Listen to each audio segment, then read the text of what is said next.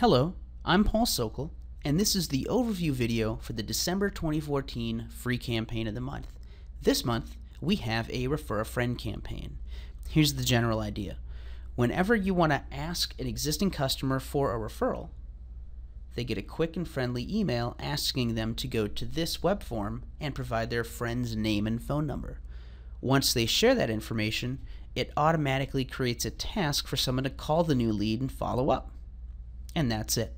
A simple campaign to automatically ask your customers for referrals.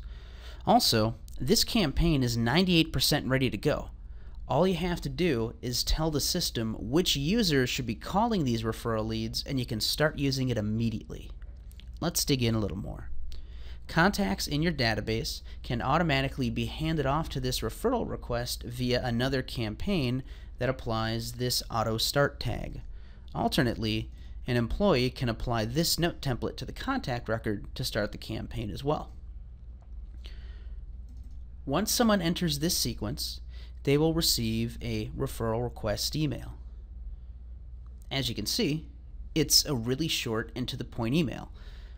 This link here is already configured to go to the refer a friend form. Let's take a look at that now. Normally, people are filling out web forms for themselves. However, in this case, they're filling out a form on someone else's behalf. That is why the my name is and my email is fields are actually custom fields.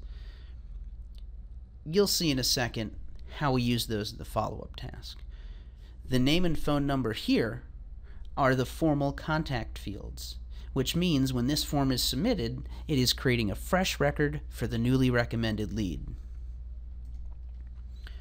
Upon submission, the new lead is tagged as referral, and a follow-up task is created. You see how it has the referring name and email? This is how you will be able to track who referred this person because you can easily search for that name or email. One last thing I want to point out this campaign is intentionally only collecting a name and phone number of a referral. Modifying this campaign to collect the name and email of a referral and then emailing those people without permission puts you at a high spam risk and can result in Infusionsoft, your Infusionsoft being shut down. Now, that doesn't mean you can't call up these leads and get their permission to email them when you talk on the phone.